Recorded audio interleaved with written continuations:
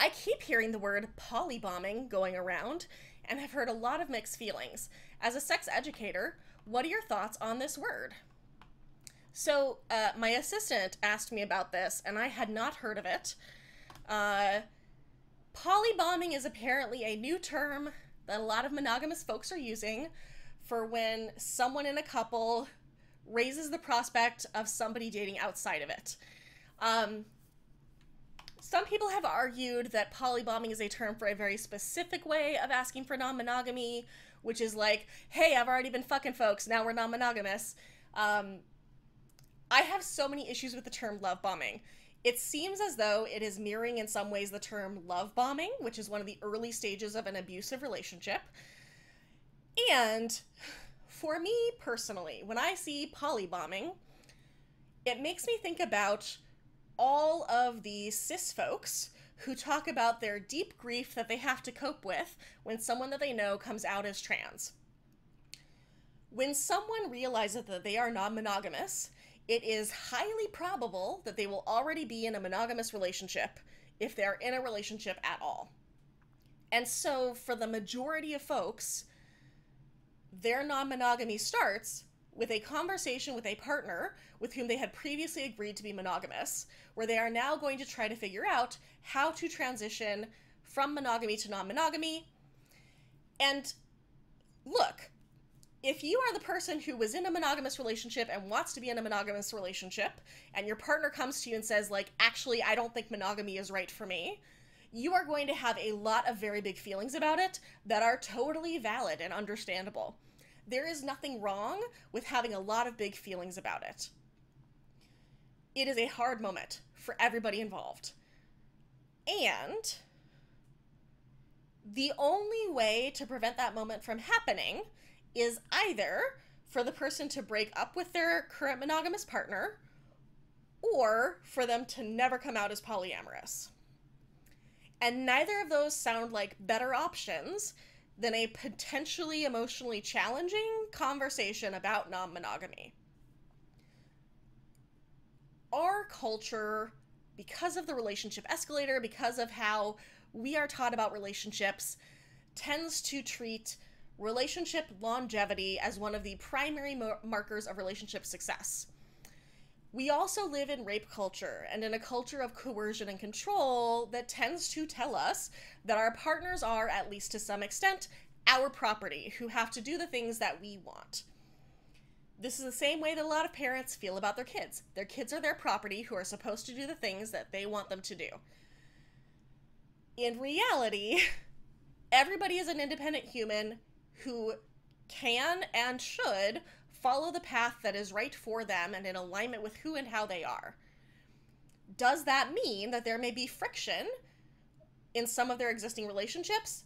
Absolutely. Does it mean that some of their existing relationships may need to significantly transform or end? Definitely. However, if your partner is coming to you and saying that they think they are non monogamous and they want to figure out how to explore that within your relationship, they are not harming you. They are sharing with you something that is true for them. They are not taking away your relationship in the same way that if someone realizes later in life that they are gay and shares that with their partner, they haven't like attacked their partner, they haven't harmed their partner. They have realized something about themselves that they did not already know. We live in a culture of compulsory monogamy. People who are not monogamous are strongly targeted, they are made fun of, they are re- they can be fired, they can be put in jail, they can lose their kids. There's a lot of shit that happens to non-monogamous people in our culture. So a lot of people do not realize that they are non monogamous or that that is even an option until they are already in a significant and long term relationship, perhaps married, perhaps with kids. That they did not until that point recognize that they were non monogamous is not entirely on them and doesn't mean that they were lying to you the whole time.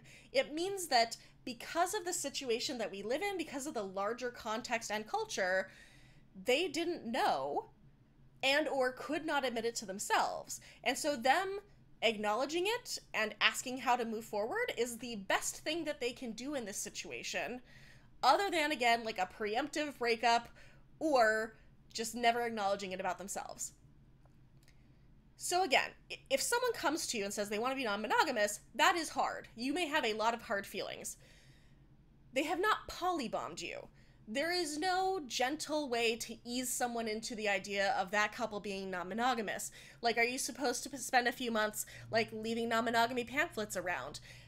putting on a show and being like, huh, those people are non monogamous. How curious. Like, how are you supposed to gradually introduce this idea to someone? I agree that it is not cool for someone to sit down with their partner and say, I know we've been monogamous for 30 years, honey, but I have a date tomorrow, so we're now non monogamous. But that's not polybombing, that is someone being an asshole. There are assholes everywhere. Look, in monogamy, half of people cheat. 50% of people or more report having cheated in their monogamous relationships. So assholes are everywhere. There there are so many assholes. Someone doing something that is assholery is not necessarily because of the non-monogamy. It's because they're being an asshole. The same way that someone could come home to their partner and be like, "Honey, I've got great news. I got a promotion. We're moving across the country." right? Like, that's the same kind of asshole move that is a huge life changing move for everybody involved, but handed out as though everyone's going to be just fine with it. Is that work bombing? Is that move bombing? Like, we don't have words for that shit that we expect in monogamous relationships or that we just acknowledge as assholery in monogamy. So it is not freaking poly bombing. It is just people being shitty. And it may not be because they are bad people. It may be because the vast majority of us do not ever learn how to communicate well in our relationships.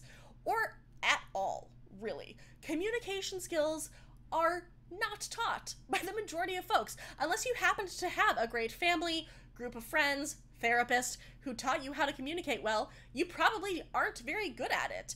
Even those of us who are therapists and are in therapy and have good friends still struggle with it a lot. So that someone is communicating badly with you about something that is for them likely highly emotionally fraught, very fearful, that they know you may not respond well to.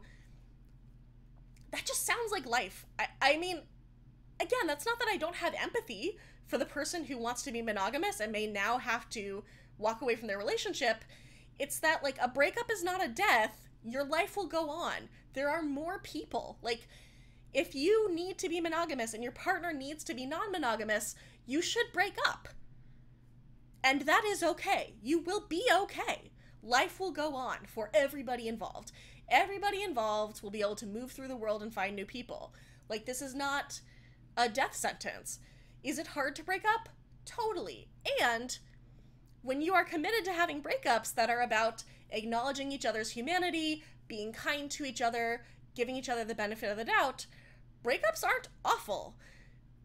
They're challenging. They can bring up a lot of feelings, but they're not awful. You know, I my partner and I restructured our relationship a few months ago.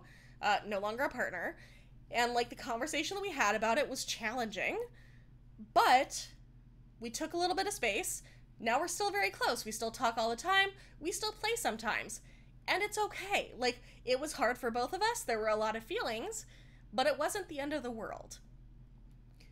I think that so much of this term polybombing is about wanting to find validation for how hard those feelings are when somebody gives you new information. And those feelings are valid.